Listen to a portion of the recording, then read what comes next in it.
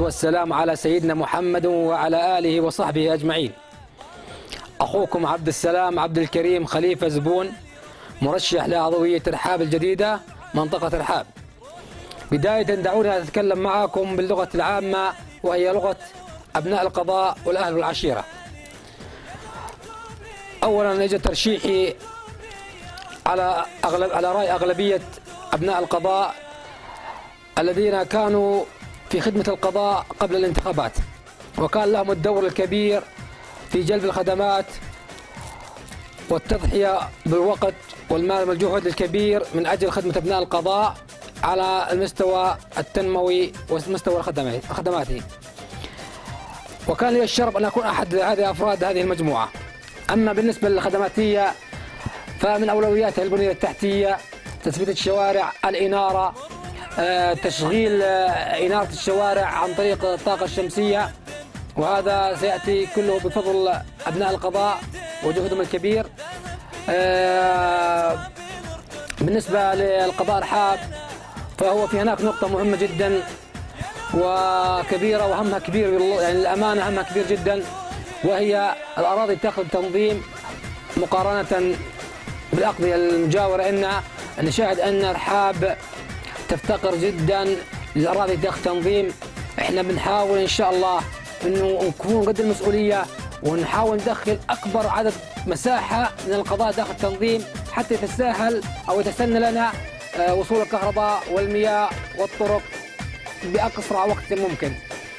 آه، بالنسبة للجانب التنموي فإحنا إن شاء الله وهو ليس كله على عاتقي أنا شخصيا معنا نخبة من أبناء القضاء للأمانة المشرفين دائما والذين هم ضحوا من أجل المصلحة العامة.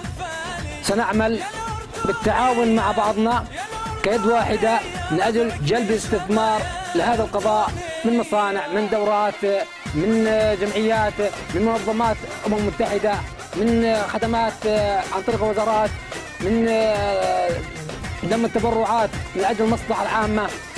إن شاء الله هذا يكون لن يكون عاتقي أنا شخصيا. أما بالنسبة للتراث والجانب السياحي في منطقة قضاء رحاب إحنا عندنا كما تعرفون كل القضاء يعرفوا ان عندنا أقدم كنيسة بالعالم عندنا كنائس كثيرة عندنا مواقع.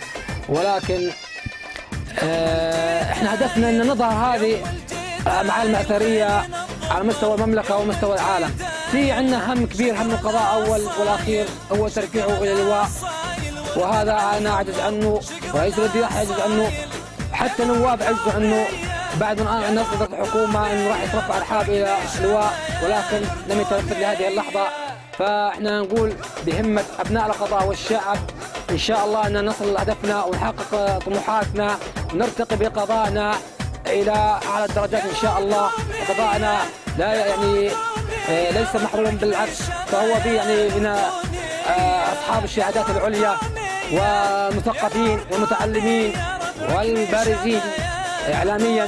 فإن شاء الله إن بجهودنا وجهودهم مع بعضنا نصل لهدفنا إن شاء الله. وأتمنى من كل المؤازرين والمداعمين أن يدعموني من أجل المصلحة العامة والذي لا إله إلا هو من أجل المصلحة العامة والذي لا إله إلا هو من أجل المصلحة العامة. موعدنا في 15 8 في العصر الديمقراطي الذي حث عليه جلالة سيدنا والذي هو كان دافع وهو دافع الركيزي والأساسي لدعم الشباب التغيير من أجل الوطن والشعب.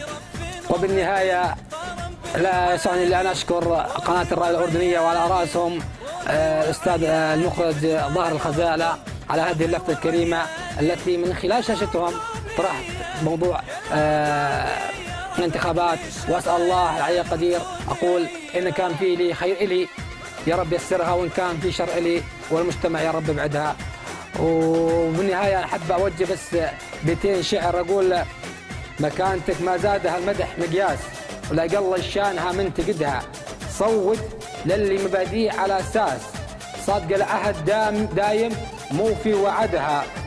أنت اللي تحدد مقامك مع الناس من وين ما حطيت نفسك تجدها. أسأل الله التوفيق لي ولكم ولجميع أخواني المترشحين لعضوية الحاب. اسعد الله اوقاتكم